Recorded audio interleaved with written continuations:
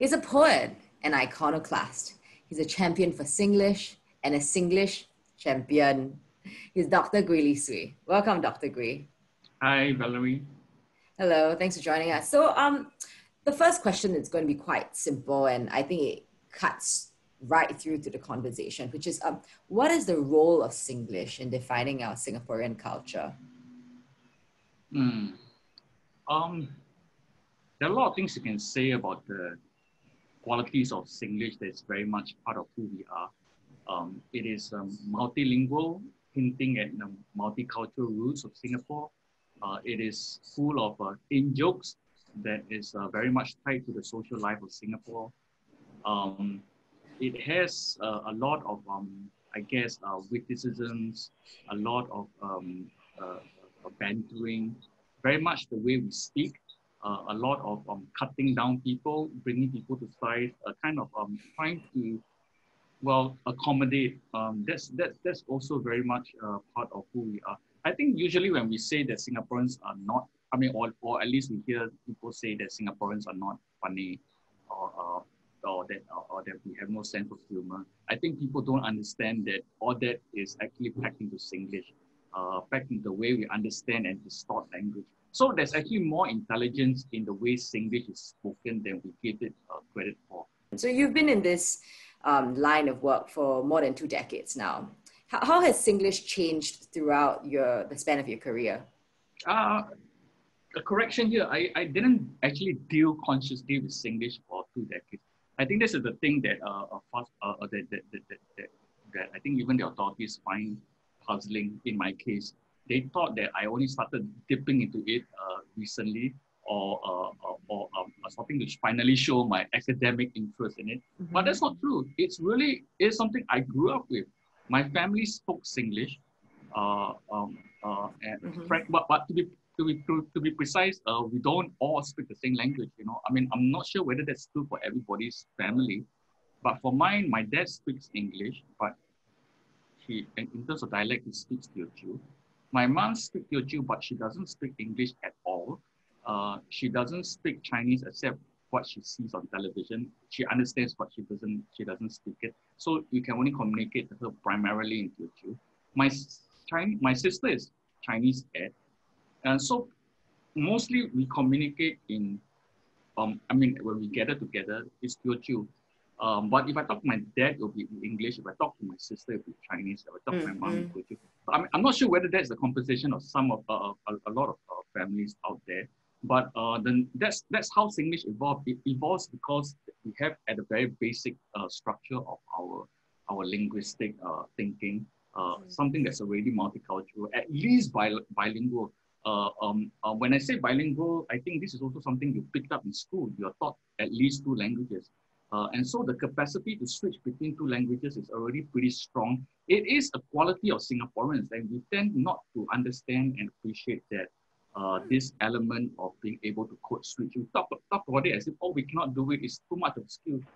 You've been doing it since school, right? Mm, mm, that's true. I, I think that's, that's an excellent point because the idea that we can code switch is actually perhaps one of our the defining qualities of our Singaporean culture as well, right? Um, I do want to pick up on that point that you said about needing to, um, you know, language falling in and out of fashion. And we also talked a little bit about how it's a mix of everything. So there is a certain um, accepted structure, so to speak, right? It's like when people understand they you, you want to say hall, everybody knows what hall is, right? So and then it's a wrong way of saying it as well. Exactly, right. So how do you think this structure comes about? How do you think this the idea of like hall needing to fit in a certain a certain way, and the fact that hall needs to be used in a certain way uh, could actually elevate English yeah. as a proper language rather than just yeah.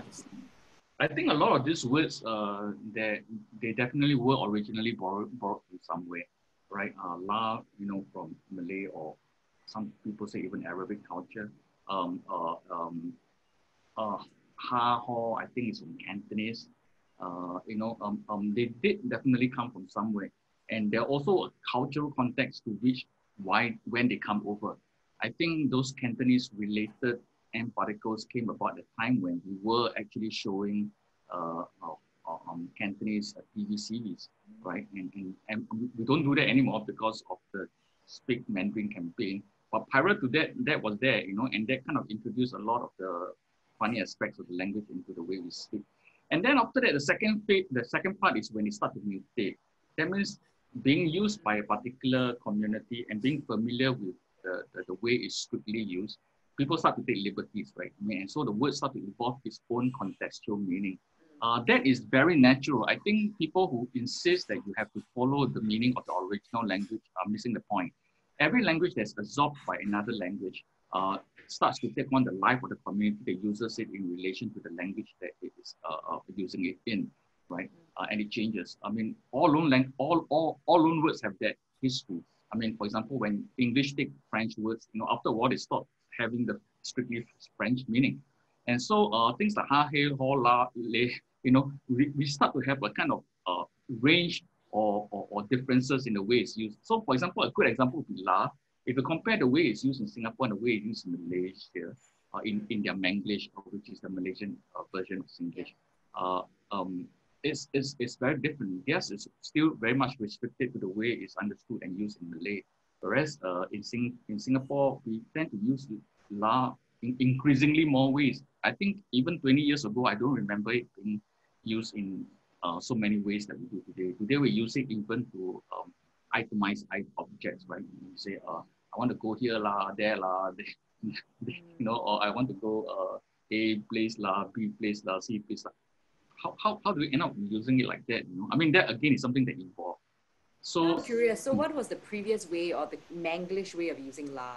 I, well, it's, it's, it's the one that most people think it, they, they know basically as a, as a, as a kind of a a, a, a, kind of affection, a kind of way to just uh, suggest that uh, to say something and then end it on the note of, of kindness or politeness, something that, that kind of um, brings down the tone from it sounding too demanding. I think it's, it's, it's very, uh, it's a very uh, uh, uh, limited way, I guess, or, or very, very particular way of using it. Okay, that's interesting. Um, you know, one other point that we also talked about was you kind of grow up speaking Singlish, right? But nowadays, there's this sensing, you know, if you are younger, if you're in primary school, secondary school, um, or even as you grow older, right? If there's a fear of being seen to only speak Singlish, if you can speak good English, mm. and then you can code switch best, you know, lagi best. But Singlish is still relegated as as that subpar language, if you want to call that. Yeah. Uh, Will this change, and should this change? It, it is. It is changing. Um, you haven't lived the worst of it. I mean, uh, there was a time when actually it, I, it, it was pretty much uh, uh, uh not just frowned upon, but actively uh, uh, institutionally taken taken down. It was attacked quite quite fervently. from the 70s onwards, the very strong point that was made by the educational minister then was not to have Singlish used in school. The language of education has to be English, which is perfectly fine. But I think that started to evolve somewhere in the 90s into Singlish becoming the thing to be blamed for bad English. So when people speak bad English, oh, they say that that's because uh, they are speaking Singlish. Well, the problem here is that because for decades we have not learned to differentiate between Singlish and English, and then we have inculcated this sense that Singlish is bad English, uh, it has that reputation that whenever someone speaks bad Singlish, uh, bad English, it has to be speaking Singlish, which is wrong because uh, uh, Singlish, you know, the rules and there, there are proper rules of, of, of saying it in a way that you know bad English doesn't. You know, bad English is just contorted. You know, you can you can say something that's bad English that's also bad Singlish. If you say, uh, where go, where go, that's bad English. That's also bad Singlish, right? Because Singlish, the way to say is go where go where? Mm. Uh, you know, uh, uh, you drop you drop your marker. Hey, go where? You don't say, hey, go where go? Where go? you say that that is not that's not English and that's not English also. There is prop in other words, there's really proper syntax there. Mm. There is a way in which we will understand you and we understand that you're speaking Singlish. I mean, there are many variants of this kind of, of points that I, I, I, I, there is to be left to Singlish to kind of make sense of. Mm. But the issue here is firstly that they're not the same. And secondly, if you speak less English, it doesn't mean that you speak more English, better English. Uh, this is also a bad assumption. The idea that if you persecute Singlish enough and people stop speaking it, mm-hmm. do they speak good English? Mm-hmm. I think that's an interesting perspective. On one hand, thinking that you need to have good English to actually participate, use, and contribute to Singlish, right? But on the other hand, there is also the conventional argument that's been put off by the government, right, or actually by English teachers, is that if you are going to continue accepting Singlish, continue using Singlish, even in good Singlish grammar and syntax, you might mix it up with English and therefore get a bad English grade. Well, the, the way to understand, understand this is numerous. Firstly, you know, um, if you teach people the difference and you teach them how to understand them differently, then there wouldn't be an issue. You don't say the same thing about Chinese and English. Right? You're going to say that, oh, if people start to speak too much English, that English is going to get bad. The whole premise of being able to speak bilingually is that you know both categories and when to use one and when to use the other.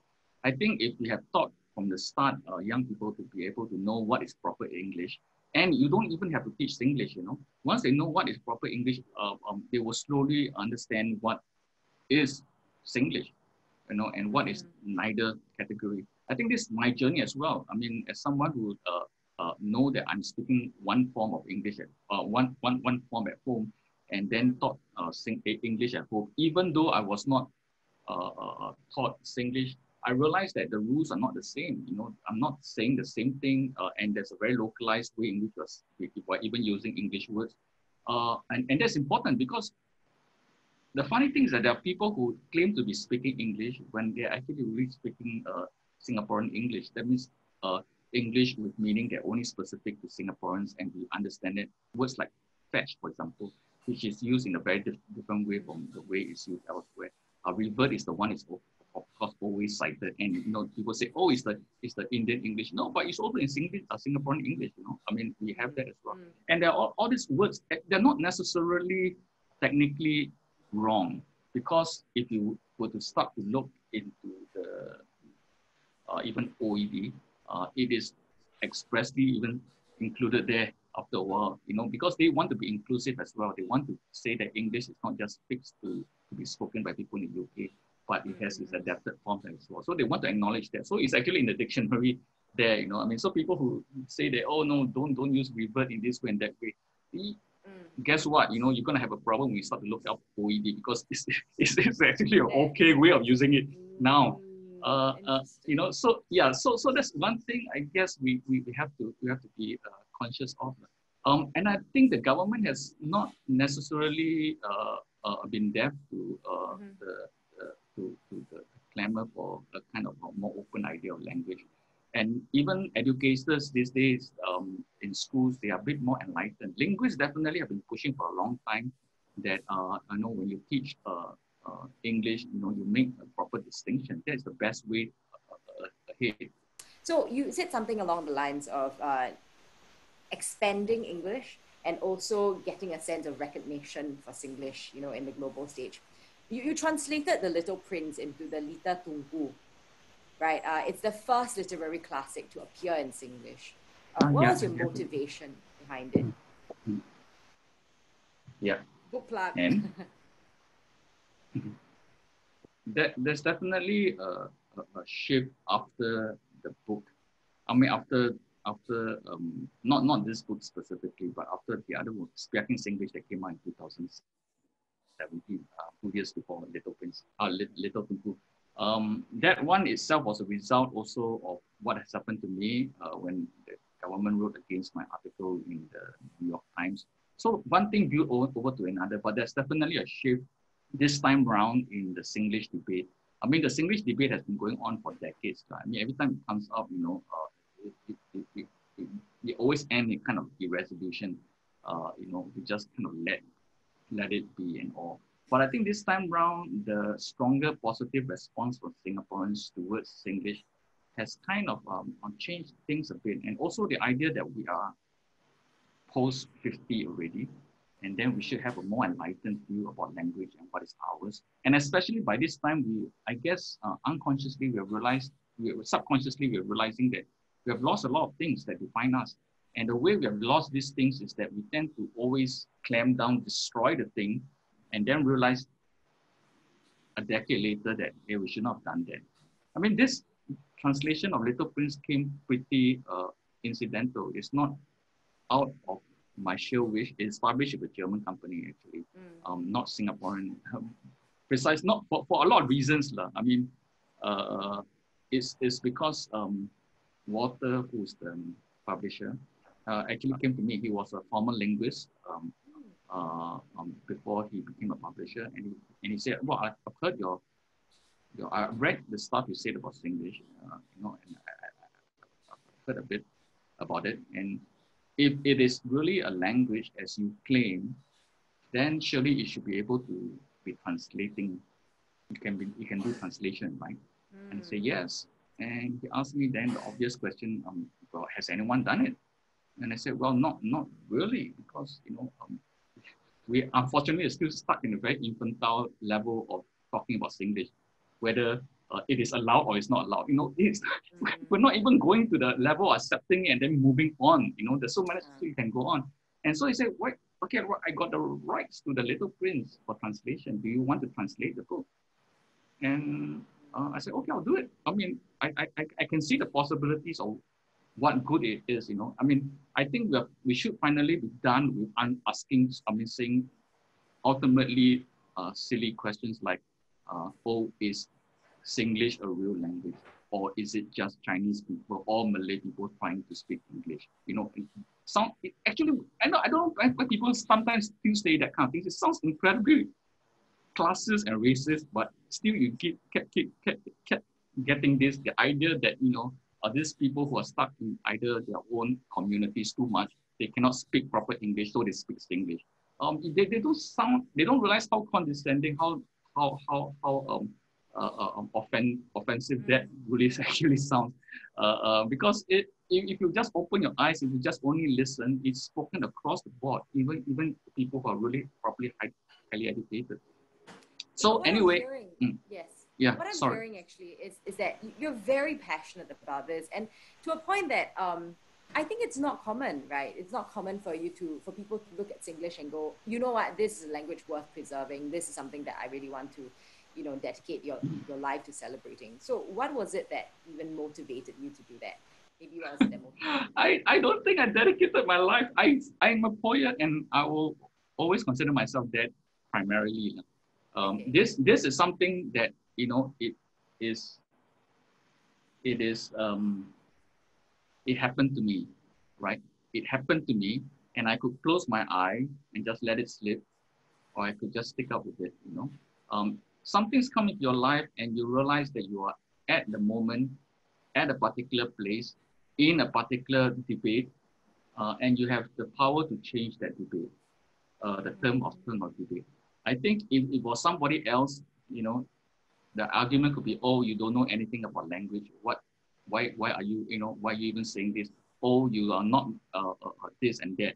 Whereas i find that you know precisely because i understand language i study language uh, um, I know literature, I mean, and, and, and, and what goes into the literary uh, uh, uh, uh nature that uh, makes language possible. knowing all these things, and, and of course, the, of course, it, it, the poetic possibilities in language. when I know all these things, and yet, you know, I find myself stuck in this debate where people are still killing something which I thought they should really. We'll be past this by now yeah, no, they, they, they, should, they should really protect it. You know, it's not always somebody else's problem, uh, mm. firstly. And secondly, that recognizing it for what it is. You know, this Singlish right now is what English was 800 years, 800 years ago, right? Uh, when it was just absorbing words from around cultures. If we give it enough space, we could have on our hands the English of the future. Mm, you said something very interesting, and I think that will be my last question because we're really mm. running out of time. But it's been an enjoyable con- conversation. Um, the poetic quality of Singlish. Mm. Uh, I think one thing I love about languages is that across different language, there's a certain term that usually expresses a hard to translate uh, quality, right? Like Schadenfreude in German, or, Mm. or you said Sibesian in Singlish. Right? It's very hard to translate. So, so what is what are some one or a few of your favorite Singlish phrase that expresses that same uh, je ne sais quoi, so to speak? Yeah, no, no, there, there are a lot. I mean, I mean, one of the sure signs that uh, it is its own thing is when it starts to have its own idioms and metaphors, right? We have we have quite a lot. I mean, when I was young, the one that was that really stuck is NATO. I don't think people What's use that? that anymore. NATO, NATO. NATO. What, what does that mean? Yeah, I, I don't think your generation uses that, that anymore. But my time was really, really big. I mean, of course, you may think it refers to the, you know, the North Atlantic, uh, uh, yeah, yeah, uh, uh, uh, uh, organization, uh, trade organization. But but it's, uh, it's, it's, it's, it's not that, you know, we use it to mean uh, uh, no action talk only, right? So when someone is, you know, I mean, because that was our experience of NATO 200, uh, 20 years ago, you know, they are always just having conversations and nothing happens. So whenever this happens among, uh, in, a, in a community or something like this, it's, oh, they are just NATO or the government is just NATO. Uh, yeah, it's, it, you know, it, it, that, that, that, it, it shows certain understanding. It's not a stupid phrase. It precisely came about because we knew what NATO was not was doing or rather not doing. You know, there is a certain understanding there before the word could be used. Uh, I think these days there will be things like steady pom pipi, right? Which again, you know, you it's, it's spoon pipi actually, but then it evolved again. It gets distorted. It becomes pom pipi, which is the which the version that seems more acceptable now uh, which is basically to mean that you know you blow a whistle, right? You're you're, so you're so you're so killer, you're so uh, uh, uh, um, fantastic, so excellent that you know I, I'll, I'll blow a whistle for you. Given the different phrases in our history in relating to Singlish, uh, Singlish has become this this this refuge for all these places to keep the words that are disappearing, to keep the ideas that are disappearing. You know, because as today, you know, more and more people are speaking English in Singapore. Uh, and so the, the, the, the old languages, the old way of speaking are dying. And so, you know, Singlish becomes the storehouses for um, our cultural imagination. That's true. And with that, uh, thank you so much for joining us at Inconvenient Mm. Questions, Dr. Gwee. Okay, Bye. bye.